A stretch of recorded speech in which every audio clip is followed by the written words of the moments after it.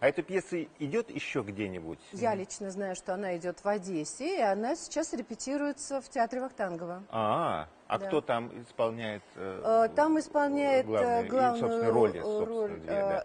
Этуш, Мгм, мгм, а кто в паре, не знаю. мгм. А, то есть вашего визави там будет играть Этуш, да? Да. Мгм. А, я так понял, Ну, Я что... думаю, это будут совершенно разные Естественно, спектакли. абсолютно. конечно. Я думаю, что да, тем более, что я понял, что у вас режиссер а, из тех, который позволяет актерам ну, импровизировать. Очень да? много, да. Мгм. Это правда. И потом у нас все-таки философ, он э, сам преподает тоже в институте, он, он абсолютно гениальный артист. Мгм. Вот вы знаете, ну я его видела на Вы сцене такой других лояльный партнер, так это, наверное, Ну, вы знаете, вот когда я нахожусь рядом с ним на Да. сцене, я с ним находилась в других спектаклях, но были просто другие роли.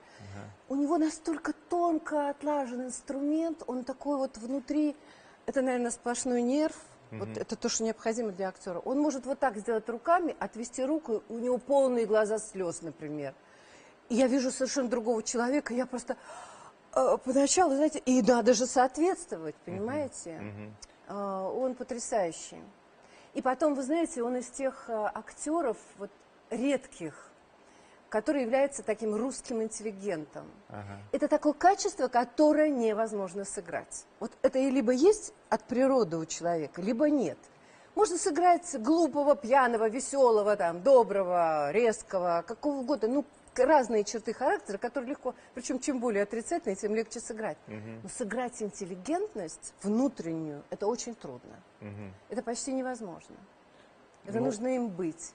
Ну, такой у нас там Баталов, например, Ага. да. Ну, есть такие актеры, но их мало. Мгм.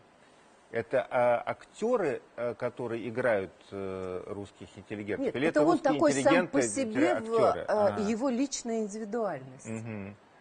Ну а как вы для Он себя... разные роли играет Я в театре, понимаю, очень да. разные. Нет, Ну, ну я хочу просто понять, вот что такое... здесь, понимаете, Да. он такой вот э, гальдинер, но интеллигент. Живущий на свалке мусора на Брайтоне, но оста- остающийся очень остроумным и интеллигентным человеком. Не политкорректно, но без злого умысла. Иронично, но без сарказма. Пристрастно, но по-честному. Правда 24 и Евгений Додолев. С понедельника по четверг в 19.30 на телеканале Москва 24.